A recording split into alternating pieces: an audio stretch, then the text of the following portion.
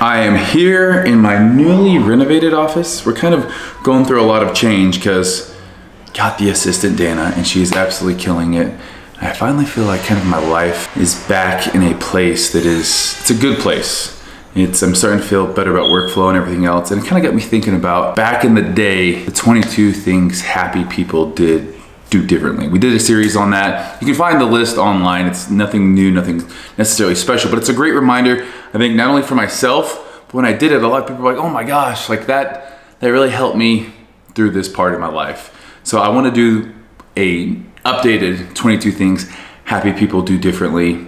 Um, and today is day one. So kind of just a little bit about where this comes from. It's, it's online and it's all about, you know, 22 things that I think you make habits that you do habitually because a lot of time I think we can get caught up in this voice in our head. There's a volume that we can either turn it up or turn it down. And this between here is gonna either make things easier for you or harder for you. Everything that you need to, to really create a happier life starts up here. Now, I'm gonna be the first person to say life isn't all sunshine and rainbows and butterflies. There's gonna be times in life, there's gonna be things that happen, outside things that happen that you're gonna wanna be mad about, that you're gonna wanna be sad, hurt.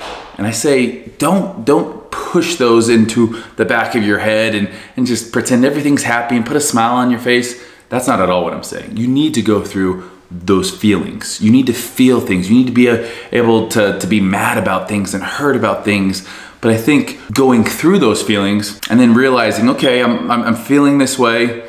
What are some things that I can do to maybe speed up the process or what can I do to, to now that I'm going through this, whether it's, you know, getting laid off, a breakup, you know, a death in the family, all these things are tough, negative things to do. But what can oftentimes happen is we just start spiraling down, spiraling down, and one negative thought or one depressing thing turns into many, turns into more negative thoughts, and then all of a sudden you're at a very low place in your life. So I love the quote that, you know, it says something to the effect that life is 10% what happens to us and 90% how we react. All about attitude, all about knowing that things are gonna happen in life. There's gonna be speed bumps along the way, but preparing for them. And then also when they do happen, allowing yourself to go through them and then getting back on the horse and getting back to the things that do make you happy, getting into that successful habits of being happy. So these are habits it's not things that people do 100% of the time, but they're habits. And a habit takes a while to create. So we're gonna be doing these one every week.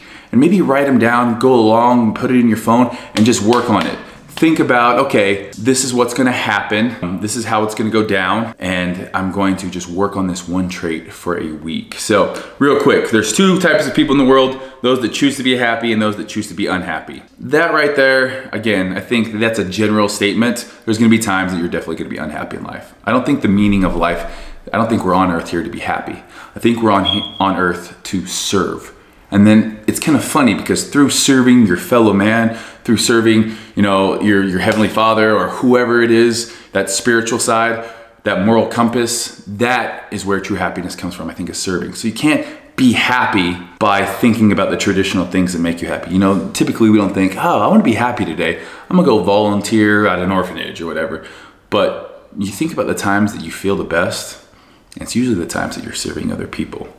But here we go. So contrary to popular belief, ha happiness doesn't come through fame, fortune, other people, material possessions, rather it comes with, within. It does not matter how much money you have. It does not matter how many Instagram followers you have. Some of the happiest moments in my life have been the times when I've been at the lowest and I'm just starting to dig myself out. Some of the most unhappy times or the most empty I felt is after winning a bodybuilding show, winning a contest, getting a cover of a magazine and feeling like, ooh, I should be happy. I, be, I should be and you're just kind of left empty because it's not really fulfilling. It's not really, um, the process is sometimes you're more happy in the process than you are with this something that you build up and then it kind of lets you down. So you can be happy no matter what. You can be happy, you know, with one Instagram follower because all of a sudden you get a lot of Instagram followers and what happens? You want more, you want more, you want more. So it comes from within. The richest person in the world could be miserable while the person living in the slums can be the happiest person in the world. Maintaining a positive outlook and being at peace. So just that peacefulness that comes from knowing that, hey, I don't need more than what I have right now. I'm not holding grudges. I'm living within my right hip here. My happiness is contained up here. So Happy people have found good habits that enhance their lives. They do they do things differently. And what I mean by that is they have successful traits and habits that creates their lives to be different. And when negative things come along, they have better tools to cope with them. And they already are in these habits of doing things that make them happy. The first one, don't hold grudges. This one's so difficult. Having people understand it's better to forgive and forget than to let their negative feelings crowd out those positive feelings. It's hard to have a positive life when you have negative feelings about somebody. Holding onto a grudge has detrimental effects on your well-being, including increased depression, anxiety, stress. Why let someone who has wronged you have power over you? Why are you giving your power away to somebody who might not care about you or to even someone who does care about you but who has wronged you? If you let go of all your grudges, you can gain a clear conscience and enough energy to enjoy all the good things in life. If you if you are having a grudge and you want bad on somebody else, it's hard to have a good conscience because deep down in the back of that head or deep down inside your heart, you know you're not wishing well of your fellow man and that actually plays a role in your life.